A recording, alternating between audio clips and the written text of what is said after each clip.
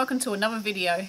In today's video we're going to talk about the Christmas Eve cast on. We did one of these last year and last year we had the Scrap Granny blanket or the Scraptastic Granny blanket. This is the one that I made. I still haven't finished it and we are ready to do the next Christmas Eve cast on for this year. I cannot believe I haven't finished it and it's been at least a year. It's actually been more than a year. But hey, it is an ongoing project. It is huge. You can see I've done a lot of crochet on it. It's not far from being finished, so I'm not too bad. But today's video, we're going to talk about the new project. It's not this one. Sure, if you want to join in with a Christmas Eve cast on project, you can make this shawl.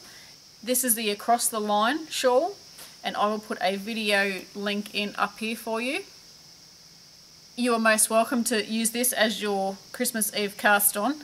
But the project that I've filmed for you is the basket weave stitch. And we are using Rhonda's pattern from Umbaco Designs. I think I've got that right. I should have brought notes with me. I am so sorry if that's wrong. I will put the text across the screen of the website that we're going to use. You can use it to make a dishcloth, a scarf, or a blanket. That is what I'm going to be doing. I'm making a scrap blanket. I've got all the bits and pieces that I've used throughout the year. And I'm putting them all together into a blanket, quite like the Scraptastic Granny one that we did.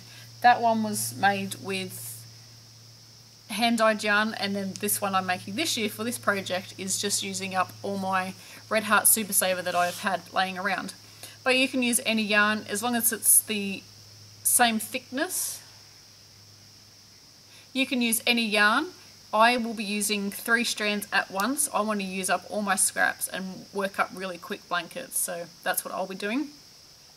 If you have DK yarn or if you have different thicknesses of yarn, as long as you keep them the same, so you've got maybe one 10 ply strand, which is a worsted weight or an Aran weight, and then one 8 ply strand, which is a number 3 yarn, light worsted or DK yarn for UK.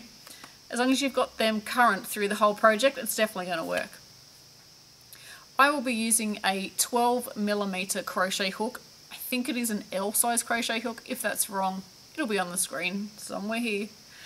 Uh, yeah, I'm going to be using a really big crochet hook because I'm using three strands of worsted weight yarn, which is a 10 ply or an Aran weight yarn. So I want it to work up really quick. So it's a great project if you want to, want to use up lots of scraps.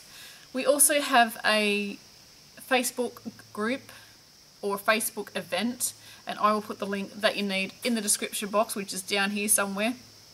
Click on that description box and that will take you to the Facebook group or link. The hashtag for this project this year will be the Chris will be Christmas Eve cast on 2017. Again, this will be across the screen as I'm talking when I edit my video later. I'm trying to think what else I need to tell you. Oh, it comes out on Christmas Eve. So the video tutorial will come out before Christmas Eve, and you'll know that because you're watching this video right now. So that you can get all your supplies ready, and, and you may even just want to watch the video so you can get a head start on what we are going to be learning. If you haven't done the basket weave stitch before, I highly recommend it. I've heard, had a lot of people say they don't like it. I've also had a lot of people say they find it really hard. This pattern that we're going to use is not a hard pattern. It, uh, Ron, when Rhonda's designed it, it's quite easy to follow and you repeat yourself. So you get into a rhythm and you can easily read your work. You'll know and you can easily read your work. So I really do recommend that you watch the video tutorial. I will put a link for that in the description box if you're watching this video as soon as it's released, like this one right now, it is not going to be available yet, but I will put the link there anyway, so that when it's available, if you're watching this video a little bit later, that you can go and check it out.